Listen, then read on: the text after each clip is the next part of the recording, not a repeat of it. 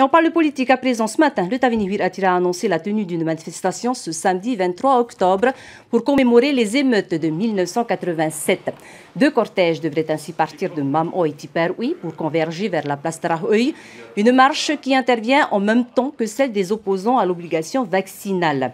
Le leader indépendantiste, le C, ne cache pas son souhait de se joindre à eux, laissant planer le doute sur sa position en faveur de l'obligation vaccinale. Du reste, cette marche sera aussi l'occasion pour le parti d'aborder d'autres sujets tels que l'exploration des fonds marins ou la décolonisation à l'ONU.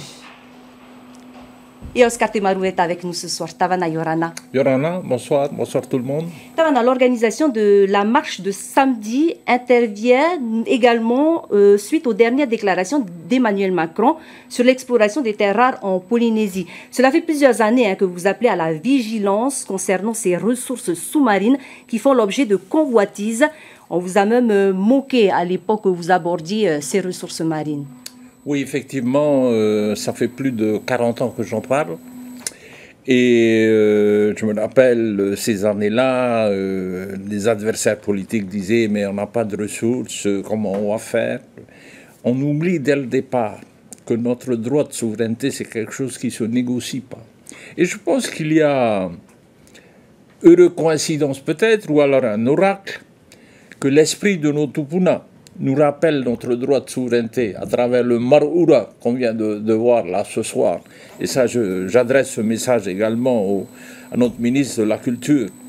Ça veut dire ce que ça veut dire. Mm. C'est notre droit de souveraineté qui, qui a été d'ailleurs euh, adopté à, à New York le 20 décembre dernier euh, une dernière résolution a été adoptée suite à la demande de la France de nous retirer de la liste des pays à décoloniser.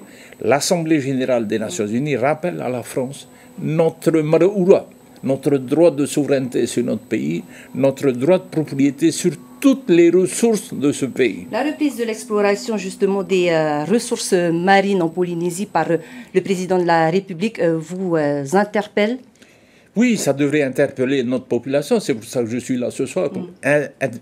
inviter notre population, la jeunesse de ce pays à se lever. On doit laisser de côté nos appartenances politiques, religieuses et tout ça, et penser d'abord à notre pays, ce pays fabuleux de 5 millions de kilomètres carrés, avec toutes les ressources que nous connaissons aujourd'hui. Tous les pays du monde entier. Ces ressources, c'est de compétences du pays il ne s'agit plus d'exploration. pas convaincu? Hein. Ce qu'il y a au bout, c'est l'exploitation. Hmm. C'est de ça qu'il faut. On sait ce y a, où ça se trouve, tout ça. Euh, l'exploration, c'est déjà du passé. Vous, attendez beaucoup de la délégation que le président du pays, Edouard Fitch, a demandé euh, à, l'ONU euh, de, faire venir en, Polynésie, justement, par rapport à ces sujets? Nous sommes également demandeurs hein, hmm. de cette visiting mission qui viennent chez nous. C'était pas la même démarche, hein, Tavana. Vous, vous vouliez qu'une délégation vienne pour constater que le processus de décolonisation n'avait pas encore été engagé en Polynésie depuis la réinscription. Edouard Fritsch demande une délégation de l'ONU pour venir constater eh bien, de la présence française en ça Se rejoint, mhm. Ça se rejoint parce qu'il s'agira de voir euh, notre niveau, euh, le degré d'autonomie qu'il y a dans ce pays. On, le voit, on l'a vu dernièrement avec la gestion de cette pandémie hein, euh, et qui gérait vraiment hein, la, santé dans notre pays. Ben, je ne veux pas revenir là-dessus, je ne veux pas non plus critiquer pour critiquer. Mais euh, pour revenir à, cette idée de M. Macron de, d'explorer et d'exploiter ces ressources, c'est surtout ça.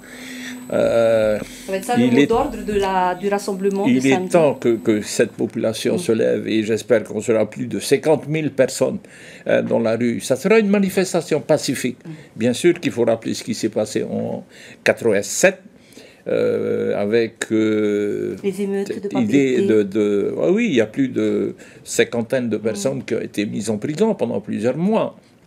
Et il y a eu cette tentative également du juge Talercio, pour ne pas le citer, hein, de faire signer un document par un euh, quelqu'un qui avait déjà passé trois mois en prison et surtout un 24 décembre pour lui dire de voilà, tu nous signes ce bout de papier pour dire que c'est moi qui suis à l'origine de cette affaire. Et euh, ce soir même, tu seras avec euh, euh, ta petite famille, ta femme et tes enfants. Pour ne pas, hein, c'était, je veux lui dire mm. merci, peut-être qu'il nous regarde ce soir. Il est à Raïlois, M. André Warin. Tavana, on a un peu de temps. Concernant la marche de samedi, est-ce qu'il n'y a pas de risque de confusion entre votre manifestation et celle organisée depuis plusieurs semaines par les opposants à l'obligation vaccinale Non, pas du tout, pas du tout. Hein. Je, je l'ai déjà dit, j'ai été vacciné, je suis pour la vaccination. Et qu'en pensez-vous justement de l'obligation vaccinale? Vous êtes pour ou contre? Je pense, je dis mon avis, hein.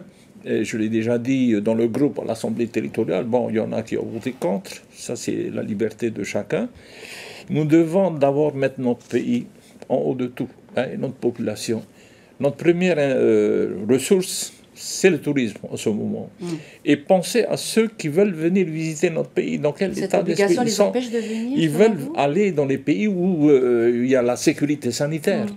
Alors, est-ce que euh, en ce moment, nous, nous, pouvons dire que vous pouvez venir chez nous, tout le monde est vacciné, il n'y a aucun risque qu'il y a ces mesures de sécurité? Non, je ne crois pas. Mm. Et ça, c'est capital pour les éventuels visiteurs qui aimeraient venir. Parce que nous devons pas... C'est une infraction pourtant, Tavana, la liberté, euh, la liberté des, des, gens, cette obligation pour nous N'oublions pas, n'oublions pas qu'il y a d'autres pays qui nous entourent avec de belles plages, de beaux lagons et tout ça et tout. Et, euh, euh, on sait que dans ces pays-là, il n'y a pas eu autant de morts que, que chez nous. Hein. Ça, c'est une très mauvaise. Vous êtes pour ou contre l'obligation vaccinale? Ah, Je l'ai dit, hein, je suis je ne veux pas contraindre.